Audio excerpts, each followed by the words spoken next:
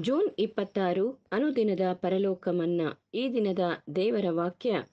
ಆದುದರಿಂದ ದೇವಜನರಾದ ಸಹೋದರರೇ, ಪರಲೋಕ ಸ್ವಾಸ್ಥ್ಯಕ್ಕಾಗಿ ನನ್ನೊಂದಿಗೆ ಕರೆಯಲ್ಪಟ್ಟವರೇ, ನಾವು ಪ್ರತಿಜ್ಞೆ ಮಾಡಿ ಒಪ್ಪಿಕೊಂಡಿರುವ ದೇವ ಪ್ರೇರಿತನೂ ಮಹಾಯಾಜಕನೂ ಆಗಿರುವ ಯೇಸುವನ್ನು ಲಕ್ಷ್ಯವಿಟ್ಟು ಯೋಚಿಸಿರಿ. ಇಬ್ರಿಯ ಮೂರು ಒಂದು.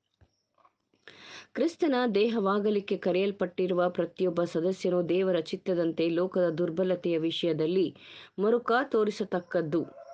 ಇವರು ದೇವರಾಜ್ಯದ ಆಡಳಿತ ಮಾಡಲು ದೇವರು ಇವರನ್ನು ನೇಮಿಸುವಾಗ ಇವರು ಮಮತೆ, ಸಹಾನುಭೂತಿ, ಅನುಕಂಪ ಉಳ್ಳವರಾಗಿ ರಾಜವಂಶಸ್ಥರಾದ ಇವರು ಲೋಕದ ನ್ಯಾಯ ತೀರಿಸುವರು.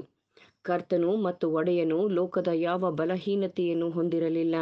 ಆತನು ಪರಿಶುದ್ಧನೂ, ನಿಷ್ಕಲಂಕನೂ ಪಾಪಿಗಳಲ್ಲಿ ಸೇರದೆ ಪ್ರತ್ಯೇಕವಾಗಿದ್ದು, ನಮ್ಮ ಬಗ್ಗೆ ಸಹಾನುಭೂತಿ ಮತ್ತು ಅನುಕಂಪ ಉಳ್ಳವನಾಗುವುದಕ್ಕಾಗಿ ನಮ್ಮ ಬಲಹೀನತೆ ಮತ್ತು ವ್ಯಾಧಿಯನ್ನು ತಾನೇ ಹೊತ್ತುಕೊಂಡು ನಮ್ಮ ನಂಬಿಗಸ್ತ ಮಹಾಯಾಜಕನಾದನು. ಹೀಗಿರುವಾಗ ಆತನ ಕೈ ಕೆಳಗೆ ಯಾಜಕರಾಗುವ ನಾವು ಯಾಜಕತ್ವವನ್ನು ಪಡೆಯಬೇಕಾದರೆ ನಾವು ತಯಾರಾಗಲಿಕ್ಕೆ ಯಾವ ಪಾಠವನ್ನು ಕಲಿಯುವ ಅವಶ್ಯಕತೆ ಇರುವುದಿಲ್ಲ ಎಂಬುದಾಗಿ ಹೇಳುವುದು ತರ್ಕಬದ್ಧವಾಗಿರುವುದಿಲ್ಲ. ನಾವು ಕ್ರಿಸ್ತನೊಂದಿಗೆ ಹಿಂಸೆಯನ್ನು ಅನುಭವಿಸುವುದಾದರೆ ಆತನೊಂದಿಗೆ ರಾಜ್ಯವನ್ನಾಳುವೆವು. ಆಮೇನ್.